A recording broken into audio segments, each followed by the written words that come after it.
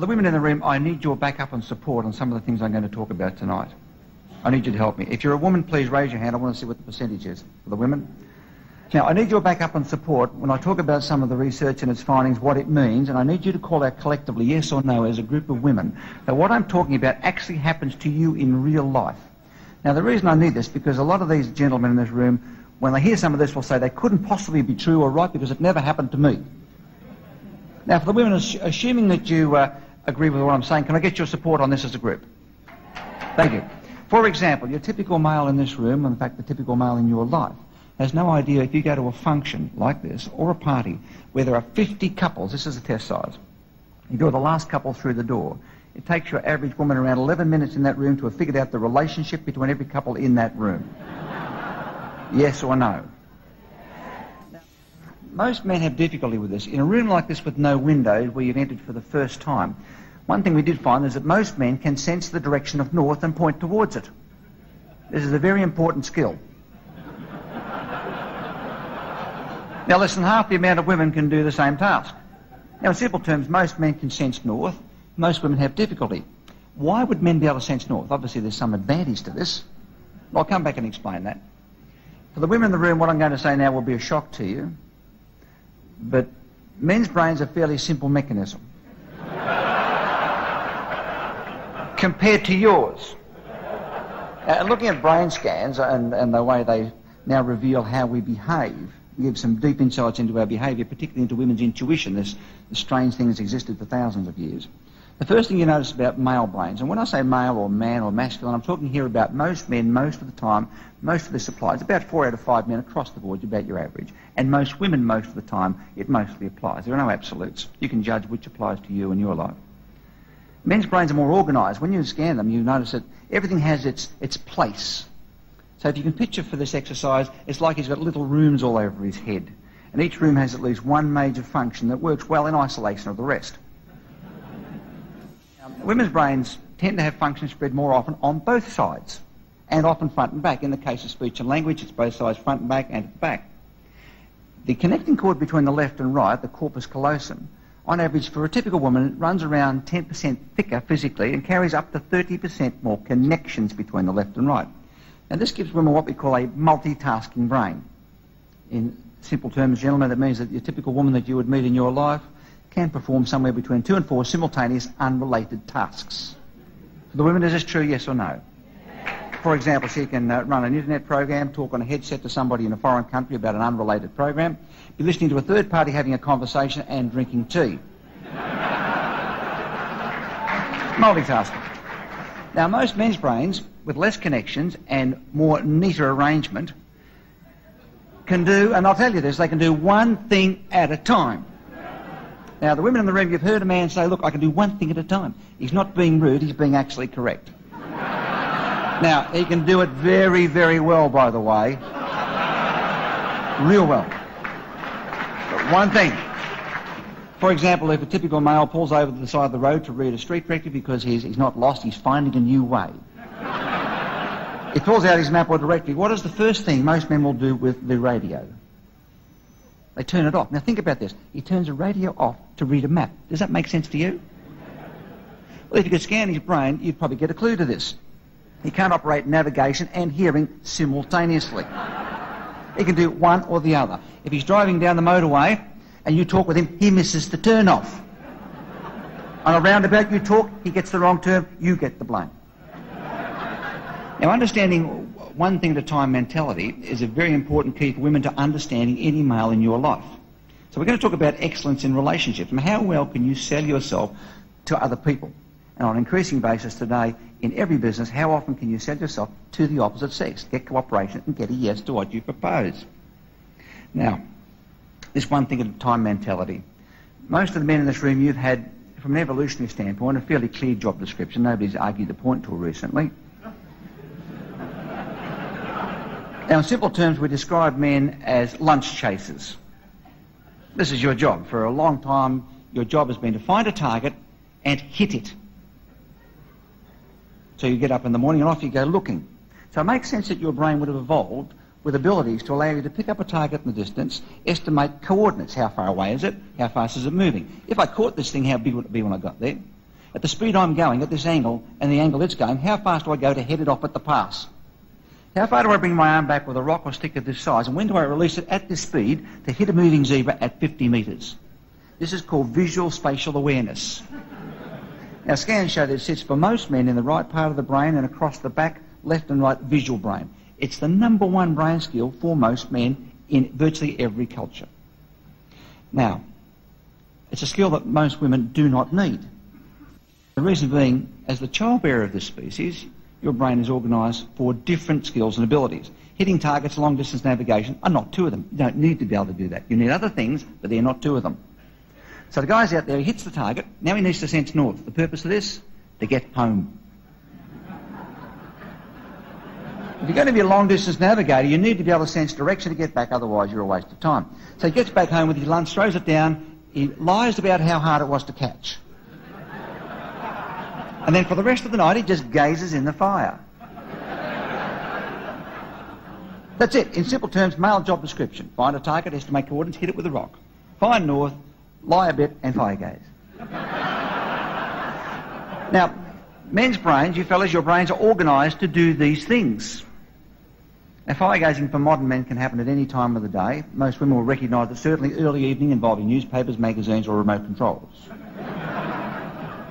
Now, here's a typical man fire gazing at the end of the day. He's reading information, magazine, or a book. If you could scan his brain when he's doing this, you know you'd discover? He's hearing impaired.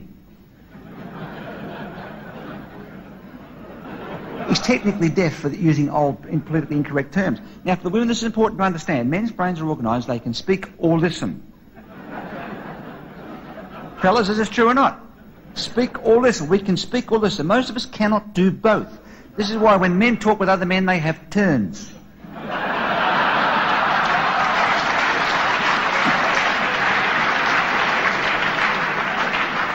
so if there's myself and uh, these two gentlemen in front talking, just on a non-threatening basis. Uh, I might go first, I'd have my turn. They would actually let me have the turn. They would not attempt to talk simultaneously. I get to the end, and as I'm talking, they do just what they're doing now. They go completely blank and they go. This is men showing, I'm interested. I get to the end, and then he'd have his turn, and we go, huh. Then this gentleman would have a turn. With. This is men bonding, getting on very well. How do women talk with other women? simultaneously. They're all going at the same time. Now, women are the butt of jokes this from men in every country. Men say in every country, we go to up to 30 countries in a year, and you can hear the men at meetings like this say, listen to the women because you can hear them. All talking at the same time. And the men say, no one's listening. Fellas, that's not true. If you could scan their brains, you would discover their brains can speak and listen simultaneously. For the women, is this true? Yes or no? Now, for most men, this is a difficult concept to get your head around. Speaking and hearing at the same time. Not only can they do that, they can do it on several unrelated subjects. They can also do this in one sentence. Now, women operate on five tones of voice, of which men can identify three. Men operate on three tones. So a woman will start off on subject one, halfway through without apparent notification. She introduces a second subject. Now, the women listening realise by the tone of voice, here's a second subject. Most of the men think this is the same subject. Now they start thinking, what is she talking about? Now she brings in a third subject, goes back to the first. The women know three things were being discussed. Is this true, gals? You look at the faces on the men, they're thinking, what is going on in this group? They... Now, if they know you well, they might say, what are you talking about? Or something very subtle like this. Now, from a nest defending standpoint, being the child bearer means that your brain would need to have the abilities to allow you to defend territory and offspring at close range. Long distance navigation, target hitting is not relevant. You need a, number of other skills. First, being able to multitask with both hands would be a big advantage from a gathering standpoint. You could pick at twice the rate. If, like most men, like 93% of men, you're dominant only with your right hand, which is your hitting throwing arm, tie that in with your spatial skills, there's your lunch chaser. That means if you're going to do that in gathering, you're going to be limited. So you don't need a spot in the left brain to identify the right hand like most men. In fact, nearly half women don't have a spot on either side to identify either hand. They cannot tell left from right in simple terms. and boy, do they get stick from men about this. You don't even know your left from right, Cheryl. Well, no. Successful nest defending doesn't, doesn't need that. You don't need a dominant arm. You need to be able to multitask equally. There are far more ambidextrous women than men. And women have another, uh, several other advantages. I mean, anatomically our eyes are the same. Men's eyes are slightly larger. Women have more white of the eyes. White of the eyes is a communication tool. But what your brain software lets your, your brain see is very different. Now, if you picture most of the males in your life that you know, now it doesn't matter whether he's five years of age or 65. Principle's the same. Has a form of mild tunnel vision. Most men can see far better than women and test to be better at seeing targets directly in front over long distances. Peripherally, most men are, it's all the blur out here, we can't see much at all, but we can see that fly on the wall back there. Tie that in with your dominant right arm and your spatial skills, there's your lunch chasing machine, this is his job. Now the advantage of that, of course, he can see a target undistracted. The downside is, he can't find things in refrigerators, cupboards, drawers.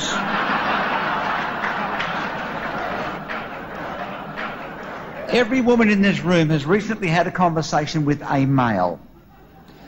He's standing in front of an open refrigerator. See if you recognise it. Where's the butter? It's in the refrigerator. Well, no, it's not. I'm standing here looking now, and there's none here. Raise your hand if you have had this conversation. Now, he insists it's not there. You walk into the kitchen, you thrust your arm in the refrigerator, and right in front of his face at eye level is this gigantic tub of butter. Now, there's no cultural differences we found in any responses to this at all. The only cultural difference we did find is that Eskimo women can reverse parallel park a sled and point north. now, for thousands of years, they've been hunters similar to the male, so it makes sense that they would have evolved with those skills. Now, a typical woman has a peripheral vision that operates at least 60 degrees from the side of the head. Now, most men start laughing when they hear this. Many can see up to 180 degrees, and a small percentage can see slightly behind while appearing to look directly in front. For the women, is this true? Yes or no? Tell them. Now, for most men, this is getting too much. You try to tell me, Ellen, that she's talking to the gentleman on the front table. While she's talking with him, she can see all the people around him at the same time. Yes, and she can hear what they're all talking about. And tell you tomorrow what they were wearing. A multi-tracking brain allows you to do that. See, it allows you to pick up stimulation and, and information in your area about other people and animals. So while you're multitasking in front, you can see a person or animal approaching or sneaking up on the nest either side. Now this peripheral vision, fellas, is a bit of a clue for you.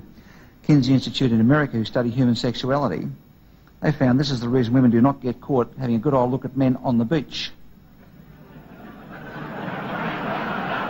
She seems to be looking there, but she's looking at this guy here. Now, when you come into a room like this, you're with a man, right? And you say to him, without appearing to move your lips, you say, look at that couple over by the exit sign. What's the first thing he does with his head? Women say to men everywhere, stop looking, it's so embarrassing. It's so obvious. Now look, if he doesn't turn his head, he cannot see anybody. It's that simple. You're walking down along the beach, fellas. you have got a woman walking beside you, and coming out of the out of the uh, water over here on an angle is, is absolutely beautiful looking woman with the best shaped figure you have ever seen. Now, you haven't seen it yet because you're watching that seagull landing on top of that lamppost up in front. Who spots her first, you or the woman with you? Women know the answer to this. You spot her long before he's got a clue what's happening. Then you evaluate her as a competitor out of 10, marking yourself down. And when you finish that form of self-beating, then you look at him and wait till he sees her. When he goes, you dirty mongrel in public. The visual spatial area of the brain this uh, right part which exists for the majority of men. From age two onwards, men and boys test to be very strong in visual spatial skill. It also means that you can look at information three-dimensionally. You can see height and width, and you can see the third dimension. You can see behind an object. This allows you in your mind to mentally imagine something rotated upside down. And mental rotation is a very strong part of male hunting brain. You can also go three-dimensionally this way. This would explain why 94% of all air traffic controllers in the world are men, wouldn't it? why 98.1% of all air traffic crews in the world in commercial airlines, pilots and engineers, are males. Not sexist. We went down to see the air traffic controllers, as we do with most major spatial occupations, and we said, hey, where are the women? Why aren't they here? Where's this equal opportunity? You know why there aren't more women air traffic controllers and pilots? They don't apply for the jobs. You know why? They're not interested. they couldn't care less. It wouldn't occur to your typical younger a student today as a female to apply for a job as an air traffic controller. It wouldn't make sense. They wouldn't even suit the job. In fact, you've got to have spatial skills to even be interested. Does that make sense? It's not that they're no good at it. They're not interested. They orient their careers into other areas where their brains are, are really more suited and they find it more interesting, such as 86% of all therapists and counsellors in Britain are female. It makes sense. Speaking, communicating, listening. Most men would think of being a counsellor therapist as listening to complaining people all day. You've got zebras to hit. Spatial skill allows you mental rotation. This allows you to estimate coordinates of something moving in the distance. It's a hunting part of the brain. Most men are strong on this. Most women don't need it. Consequently, uh, you're looking at about 10 to 15% for your typical woman having the same spatial ability. It's also the area of the brain you need to reverse parallel park a motor car between two other cars. It's also the area you need to merge on a motorway. 18% of women in Britain will not merge on a motorway. Now, this is something you never hear discussed because you need to estimate the speed of the cars going past and the speed of your own to know when to poke it into the hole at the right speed. So they'd rather not do that. And they get a lot of carry from men about this. It's also the reason so many women have so much trouble reading maps and street directories. Fellas, back me up. You're going for Sunday drive, right? You guys get behind the wheel. You always drive. No one's questioning why you drive. You just do. Driving is a spatial skill. Speeds, angles, corners. That's why men love it. They watch other men driving in a circle for two hours on Sunday. on TV, round and round and round and round. For women, that makes no sense. But he's in the seat himself, making all the adjustments, giving Hackenden those instructions. He watches a man kick a ball into a net on Sunday and rushes home and watches on TV on a replay. Six times the ball comes out in, in slow motion. Now, women think this is a waste of life. Why would you watch a ball go in and out of a net? Because it appeals to the spatial area of the brain. So going for Sunday drive, fellas. You have a woman beside you, and you say there's two words that destroy your day. You give her a map and say, which one?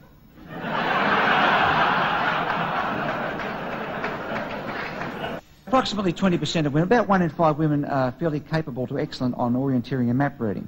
About half the balance have, have trouble and struggle, and the rest don't want to know about it.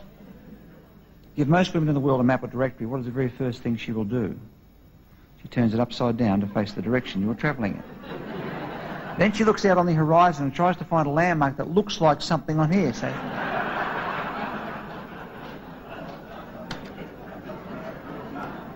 Then she says, this map is ridiculous. You guys say, no, the map's not ridiculous, and your day is over at that the point. Raise your hand if you had the map argument. Now, for the gentleman in the room, I encourage you to stop handing maps to spatially embarrassed women. This will destroy your European vacation. This will wreck your night out. You can get divorced over the map. Now, Barbara, who is my significant other, uh, she runs our corporation in both parts of the world. We live here in the UK half the time, and Australia the balance. And uh, I can't multitask the business like she can. I can do one thing at a time and do it real well. But she can't park the car. And then she'll tell you she doesn't care either. She does not care. It's not an issue. She won't drive into a multi-story car park. She'd rather find a big space and walk if necessary. She hasn't driven backwards in seven years. She asks strange men to park the car where necessary. She describes this as outsourcing. It's the way to do it.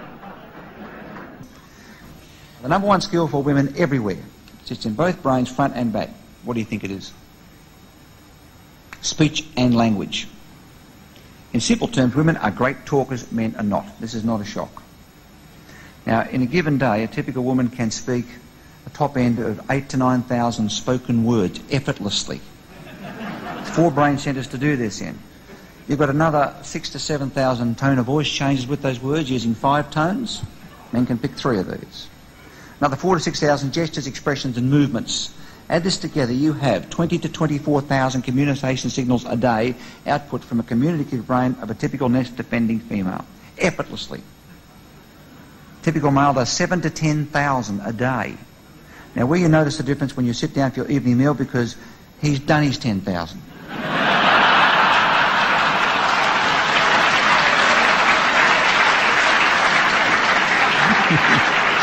Sound familiar? He's up for a bit of fire gazing time, thanks very much. He's got the remote control flicking from channel to channel to channel to channel. Men don't want to know what's on television, we found. They want to know what else is on television. it's a form of fire gazing. He's scanning. And he can't hear anything at the time, so it's pointless having an intelligent conversation. You've got to get his attention.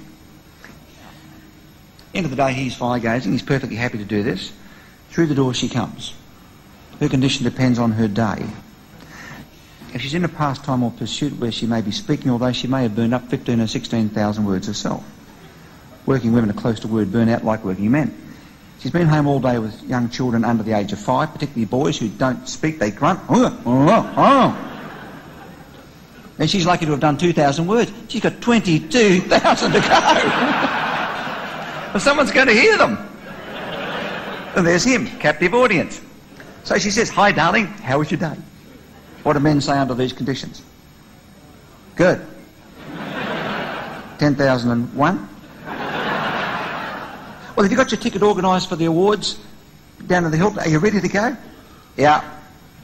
10,002.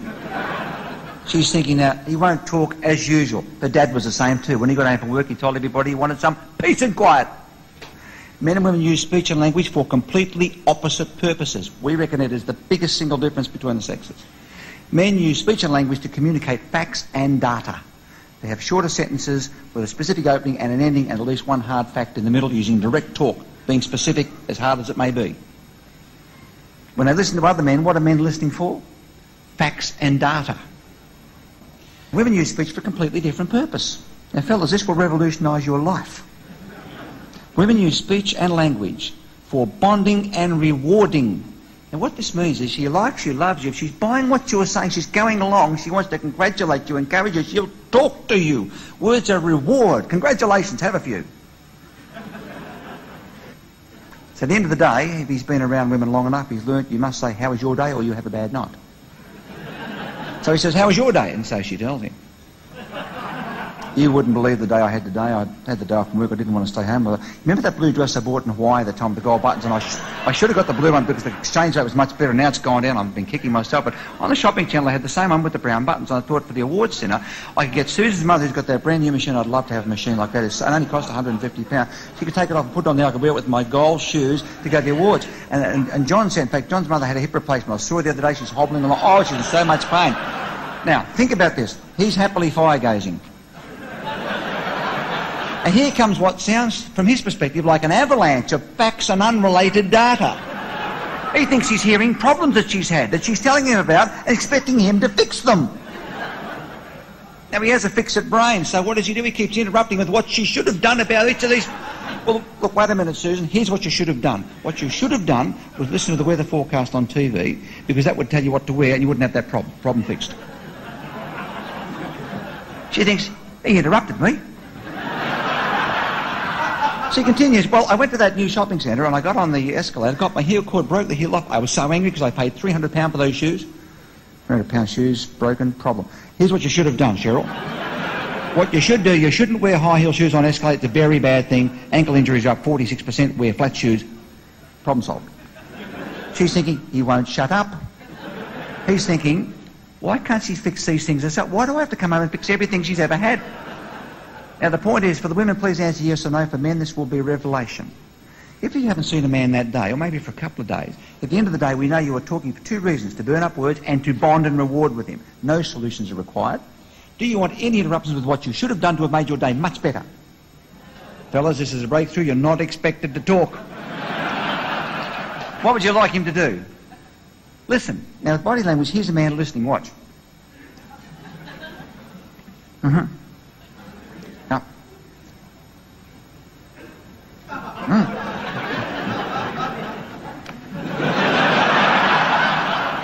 Now, this behaviour, we, we classify that, we call this the grunt. And men do it everywhere in the world. When they talk in public, particularly amongst other men they don't know that well, they show no emotional condition. They grunt. They go, uh, uh, uh, uh, uh. This shows they're interested. Now, the women, listen to this. We know that men can speak or listen. That's why they have turns. They go one at a time. That's because they can't do it at the same time, otherwise they would. If a man's talking having a turn, if you wanted to raise your own credibility and win that man over, your point of view, what would you do if he was having a turn? Let him have it. When you listen, listen to him with the grunt. Just sit there. This takes practice and go, huh? Uh-huh. Uh-huh. Now, we've studied this in business. Women who sit there grunting at a man while she's having a turn, that man starts thinking, she knows exactly what I'm talking about. Your credibility goes up. And All you're using is male communication skills. Now, you gentlemen have a completely opposite situation here. Women use words to reward. They love you, like you, are buying what you're saying, they give you lots of words. The reverse is true. If they don't love you, don't like you, and you are to be punished, they stop talking. Withdrawal of words is seen, from a female standpoint, as a serious punishment. Women use silence to punish men. Men love silence. Look, if you want to punish the guy, talk non-stop in his face, change the subject. Think about this. The biggest threat a woman can ever make is, I'll never talk to you again. The threat of permanent withdrawal of words is a serious threat from a woman's standpoint. It makes no sense to the average man at all. now, when women listen, they listen differently. They use their face and body signals to reflect the emotions of the speaker.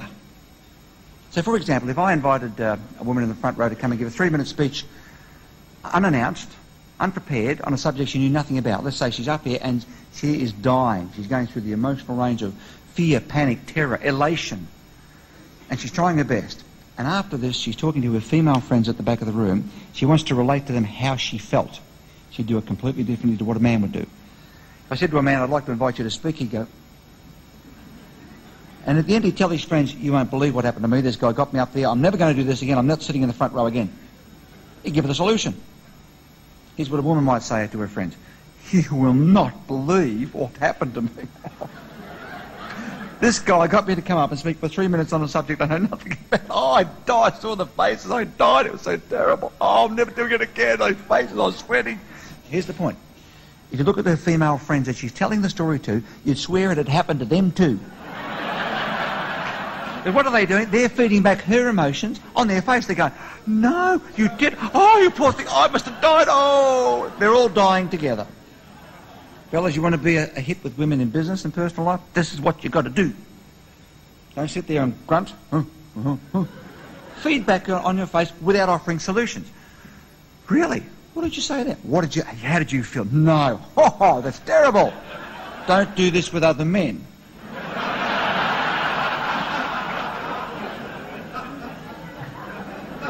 This is the reason women love talking to gay men. That's what gay men do. They feed back your emotions, don't they? No, he didn't. Oh, I'd be so bad. Now, you guys sit there and you listen to the story go, yep. Got you to speak, yep. Mm-hmm. You need a public speaking course. That's what you need. and tries to give her this. He didn't want the solution. She wanted to share her emotion. You're going to dinner tonight. She's got a brand new dress coming to a function just like this. She comes out of the bedroom wearing the dress, holds up two pairs of shoes, one blue and one gold. And she says, Darling, should I wear blue or gold shoes with this dress? Love them both, I just can't decide which one. Okay, Mr. Girlfriend? should I wear blue or gold shoes? What do you think? It's up to you. It's up, it's, it's up to Is that a good answer? It's not a good answer. no, gonna... I really need your help, darling. Blue or gold? What do you think? Blue. Blue. Okay, so he gave him for blue. Mr. 32 years, darling, what do you think? Blue or gold? Well, um, I'd like to see the whole thing. He's stalling. He's stalling for time. you see, 32 years ago, he picked blue too. and that was the end of his night, wasn't it? now, for the women, please answer yes or no. For this gentleman, when she says to him, should I wear blue or gold, is she asking him to choose her shoes? No, she's already chosen the shoes before the question was asked. He thought it was a problem solving question. he chose blue. He chose blue. What's the next thing she's going to say to him? What's wrong with the gold? Don't you like the gold? You've never liked them. Have the courage to say what you think. Go on your own right. Fellas, raise your hand if you have had this conversation. Should I wear blue or gold is not the question. The real question in indirect female language is, tell me I am beautiful tonight. That's what it means. See, some questions cannot be answered, like, does this dress make my rear look too big? How do you answer that? You can't answer this question. Give them a round of applause.